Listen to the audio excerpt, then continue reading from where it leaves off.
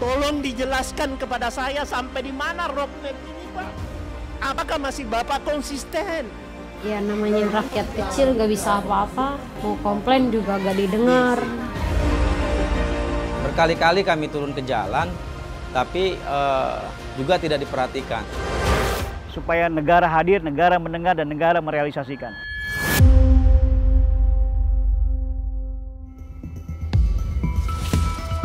Pembangunan infrastruktur mempengaruhi pertumbuhan ekonomi di Indonesia. Pembangunan di berbagai sektor memiliki efek yang signifikan terhadap pengembangan wilayah. Dengan adanya pembangunan infrastruktur yang baik, mampu meningkatkan produktivitas dan daya saing sebuah negara. Selain itu, pembangunan yang dilakukan bisa memberikan nilai tambah industri dan menciptakan lapangan kerja. Dewan Perwakilan Rakyat Republik Indonesia sebagai representatif keterwakilan rakyat dari daerah pemilihannya akan memberikan masukan pembangunan pada infrastruktur di Indonesia bertujuan yang ingin dicapai pemerintah seperti meningkatkan konektivitas dan merangsang pertumbuhan ekonomi di berbagai wilayah di tanah air. Dari sejumlah laporan masyarakat, dikomparasikan dengan data jalan nasional, wilayah Jawa Barat diketahui bahwa banyak perusahaan tambang yang melakukan pengangkutan hasil tambang dengan melintasi jalan umum, khususnya jalan nasional, tanpa izin dari Balai Besar Pelaksanaan Jalan Nasional. Saya mengundang Bapak dan Ibu yang terhormat ke wilayah kami, radius tidak jauh dari pusat kekuasaan Jakarta dan Istana Bogor, untuk bicara tataran atas, tapi bukti di lapangan hari ini masyarakat masih sangat memprihatinkan. Saya juru bicara mereka di parlemen. Jadi kalau misalnya masyarakat sudah merasa tidak lagi ada yang membela atau memperjuangkan aspirasinya, maka masyarakat memang sangat berhak untuk meminta dewan yang mewakili mereka di parlemen. Sebagai keterwakilan representatif rakyat Indonesia, Dewan Perwakilan Rakyat dalam menjalankan tugas dan fungsinya sebagai lembaga pengawasan, anggaran, dan legislasi negara melalui Komisi 5 DPR RI dalam rapat dengar pendapat bersama pemerintah merasakan hal yang sama. Jeritan warga tentang jalan selama ini sudah sangat masif terdengar. Terkait jalan tambang Pak di wilayah Rumpin Pak, sampai hari ini itu tidak ada solusi Pak. Masyarakatnya harus ya kalau dicek kesehatan masyarakat itu memprihatinkan Pak. Ada komitmen pemerintah untuk membangun jalan tambang. Nah, saya ingatkan itu tolong direalisasikan Pak. Kondisi infrastruktur maupun jalan yang hari ini dilewati oleh masyarakat di Kecamatan Rumpin, Kecamatan Parung Panjang, Gunung Sindur dan Sigudeg kondisinya sangat memprihatinkan atau rusak parah. Maraknya aktivitas pertambangan minerba batu dan pasir di Jawa Barat bagian barat saat ini telah menimbulkan banyak dampak yang terjadi di masyarakat.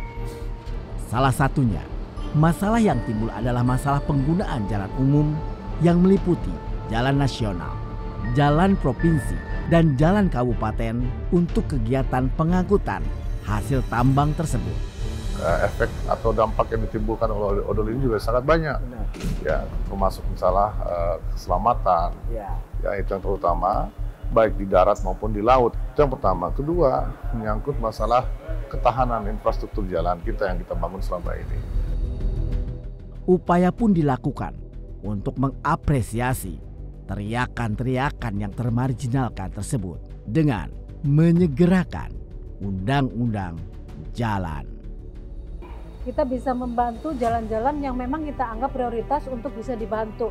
Walaupun kita tahu anggaran terbatas, tetapi kebutuhan sangat besar. Eh, Indonesia sangat luas, jalan banyak sekali yang rusak, kemudian yang sudah diperbarui juga eh, ada yang rusak lagi dan undang-undang jalan adalah salah satu solusi di mana kita bisa membantu program-program yang diperlukan.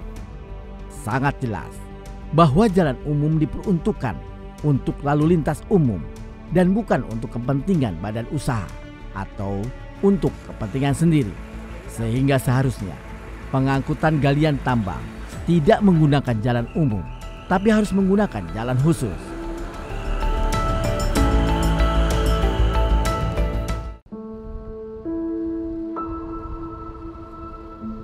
sudah menjadi rahasia umum. Lalu lalang truk tambang di Indonesia semakin lama akan merusak jalan. Biasanya sebagian pertambangan akan menggunakan jalan khusus, bahkan jalan umum pun mereka gunakan. Namun, apa jadinya jika negara yang membuat aturan hauling atau angkutan tambang menggunakan jalan umum atau negara di sisi lain ada aturan yang memperbolehkannya. Saya tidak mau bicara berulang-ulang. Intinya bagaimana mencapai minimal ada pengurangan odol itu.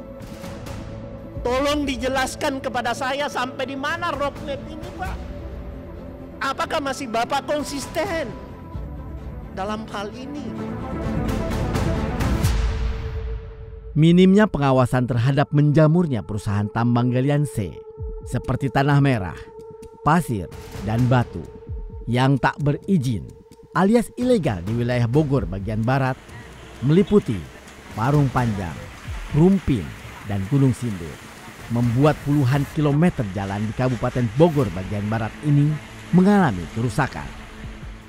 Kekuatan uh, jalan yang dibangun oleh Pemda Kabupaten itu rata-rata mungkin uh, untuk jalan kelas 1 sehingga di sana yang melintas kebanyakan truk jenis Toronton. Pemda juga kalau mau permajaan jalan harus benar-benar. Jangan cuma asal dapat tender, asal rata ya sebulan hancur. Mereka tidak nyaman mempergunakan jalan yang ada di situ ya, mereka. Pas, pas, ya kan?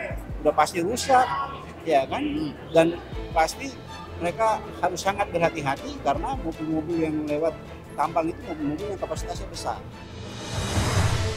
Aktivitas kendaraan tambang ini tidak bisa dipungkiri juga berdampak pada masalah tingginya angka kecelakaan karena bercampurnya kendaraan tambang dan kendaraan umum. Jadi solusinya memang kita kan uh, sering dari ini Bang juga sering rapat dengan ABKI kemudian dengan para pengusaha itu makanya ada kebijakan jam jam tayang itu. Kita lihat di lapangan eh, para transporter itu masih eh, melanggar lah. Sebab kalau kita jajarkan dari mulai eh, tempat produksinya di gunung itu nyampe ke Gunung Sindur. Air mata mengalir dari kesedihan yang mendalam seorang gadis, korban keganasan jalanan ini. Tidak terbayangkan masa depan yang sirna di depan matanya semenjak kejadian tersebut. Ya kurang lebih di wilayah RT 04 juga kalau 12 mah ada. Baik yang meninggal di tempat maupun yang cedera ya termasuk anak saya lah. Ini jadi cacat lah udah dua tahun tiga bulan. Kita isi bensin keluar timpong tabrak baik. Udah kene kalau di sekarang kan saya perhatiin asal bawa mobil, ngenaikin dua bulan, tiga bulan bisa bawa mobil, bawa. Dia nggak tanggung resiko. Anggaran yang disetujui Dewan Perwakilan Rakyat Republik Indonesia untuk pemerintah akhirnya menjadi sia-sia. Di mana kerusakan yang terjadi sangat tidak sebanding antara jumlah retribusi pengguna jalan yang dibayarkan oleh pihak perusahaan dengan biaya perbaikan jalan yang nantinya akan dikeluarkan pemerintah karena jalan nasional mengalami kerusakan sangat parah. Uh, hampir setiap tahun Pak 43 triliun rupiah. Uh, menurut informasi dari PUPR Pak bahwa ada kerusakan jalan akibat odol nih Pak. Ya. Ada nggak Pak uh, selain dari pengawasan dan regulasinya? Kerugian negara yang ditimbulkan akibat overdimension overload, overload itu cukup besar. Hal itu tidak bisa optimal karena berbagai hal terhadap kualitas ataupun hasil kerjaan tersebut. Yang penting perangan odol itu kan multi multi instansi. Saya berjuang untuk masyarakat, tapi intinya kalau misalnya pemerintah sebagai kuasa pengguna anggaran, pemerintah sebagai pelaksana undang-undang tidak merespon ya harapan dan aspirasi yang disampaikan oleh setiap dewan, ya mohon maaf dengan segala hormat kita pun tidak mau menjadi bagian dari Eh, pejabat-pejabat yang hanya bersuara tapi hanya retorika dan seremonial. Tapi kemudian masyarakat masih tetap mengeluhkan apa pun yang mereka uh, harapkan untuk segera diperbaiki.